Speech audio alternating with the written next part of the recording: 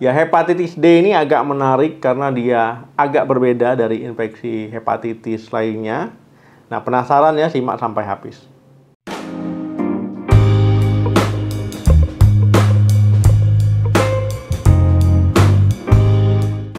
Halo, Assalamualaikum warahmatullahi wabarakatuh. Hepatitis D adalah peradangan hati akibat infeksi virus hepatitis D. Nah, penyakit ini hanya bisa terjadi ya pada seseorang yang sudah terinfeksi ya oleh virus hepatitis B. Jadi emang agak beda ya. Jadi orang udah kena hepatitis B ya baru bisa mengalami hepatitis D. Apa saja dok penyebab hepatitis D? Nah untuk penyebabnya ya itu infeksi virus hepatitis D tentunya. Nah, virus ini adalah jenis virus yang tidak lengkap dan juga membutuhkan bantuan virus hepatitis B ya untuk berkembang biak. Nah, jadi virus ini akan menyebabkan peradangan hati dan juga kerusakan hati. Dok, apa saja yang meningkatkan risiko orang mengalami ya hepatitis D?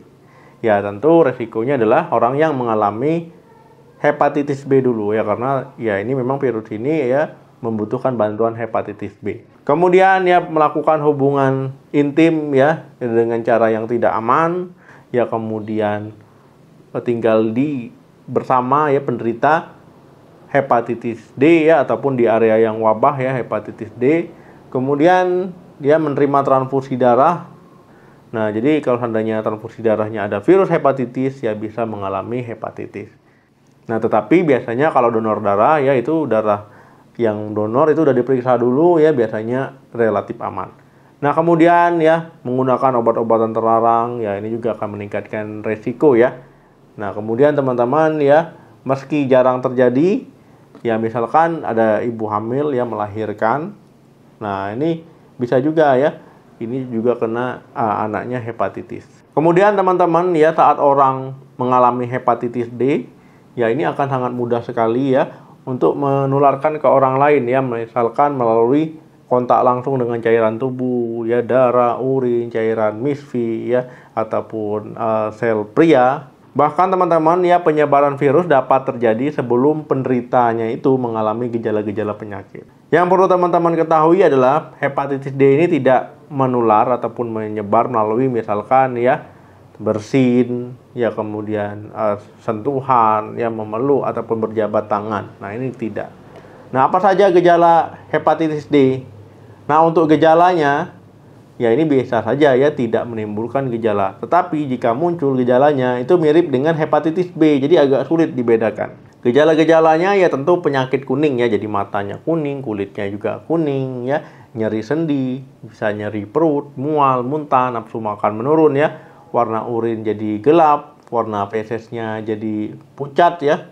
Nah, kemudian juga nah ini kelelahan ya, kelelahan yang tidak diketahui penyebabnya, pokoknya bawaannya itu lemas, tidak bertenaga. Gejalanya itu umumnya muncul sekitar 21 sampai 45 hari setelah seseorang terinfeksi hepatitis D. Nah, kemudian dok, bagaimana cara mendiagnosa hepatitis D? Ya, tentu ya dokter akan melakukan anamnesa, menanyakan keluhan ya, riwayat kesehatan. Nah, kemudian baru dilakukan pemeriksaan fisik ya. Nah, dari warna kulit dan sebagainya. Nah, kemudian juga ini baru dilakukan pemeriksaan penunjang. Untuk pemeriksaan penunjang ya itu dicek darah. Nah, untuk dinilai ya eh, ke fungsi hatinya, kemudian juga untuk melihat eh, dari apa namanya? virusnya, virus hepatitis D. Nah, kemudian ya bisa dilakukan biopsi hati ya untuk memeriksa adanya kerusakan hati, jaringan pada hati atau tidak kemudian di USG ya CT scan ataupun MRI ya untuk mendeteksi kerusakan pada hati juga. Nah, gimana cara pengobatannya hepatitis D? Untuk pengobatannya ya tentu itu untuk menghambat perkembangan virus hepatitis D ya. Dengan pemberian interferon yaitu untuk menghentikan penyebaran virus dan mencegah kembalinya muncul di kemudian hari. Nah, untuk pemberian obat antivirus ya itu ada entecavir, tenofovir dan juga lamivudin. Nah, obat-obatan ini ya itu di, diberikan ya sesuai dengan anjuran dokter ya dan setelah penilaian dokter. Ya, tentunya untuk penggunaan obat itu tujuannya untuk meningkatkan sistem imun dan juga untuk melawan virus ya dan juga menghambat perkembangan virus. Serta menghambat juga kemampuan virus untuk merusak hati. Nah, kalau seandainya hatinya rusak, ya itu biasanya bisa disarankan untuk transplantasi hati ataupun donor hati. Nah, apa saja dok komplikasi dari hepatitis D? Nah, jadi teman-teman ya kalau tidak ditangani dengan baik, hepatitis D ya bisa menimbulkan berbagai komplikasi. Ya misalkan sirosis, gagal hati, kanker hati. Nah, jadi ini berat ya. Nah, gimana dok cara pencegahan hepatitis D? Nah, cara terbaik adalah mencegah memang ya, jangan sampai terkena hepatitis D. Nah, jadi teman-teman ya, nah jangan sampai ya e, mengalami hepatitis B karena orang yang mengalami hepatitis D itu harus kena hepatitis B dulu. Nah, jadi teman-teman perlu vaksin hepatitis B ya supaya ini bisa melawan ya infeksi hepatitis B. Ya kemudian jangan gonta-ganti pasangan ya lakukan hubungan seks dengan pasangannya yang sah ya.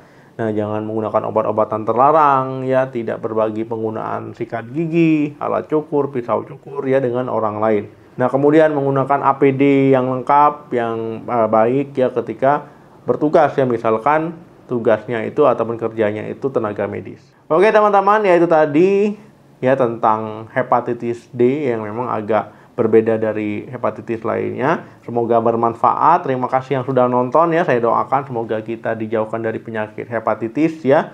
Dan bagi yang sudah terkena ya saya doakan cepat sembuh. Jangan lupa di like, di share, subscribe channel ini. Sampai ketemu lagi. Salam sehat, sampai jumpa.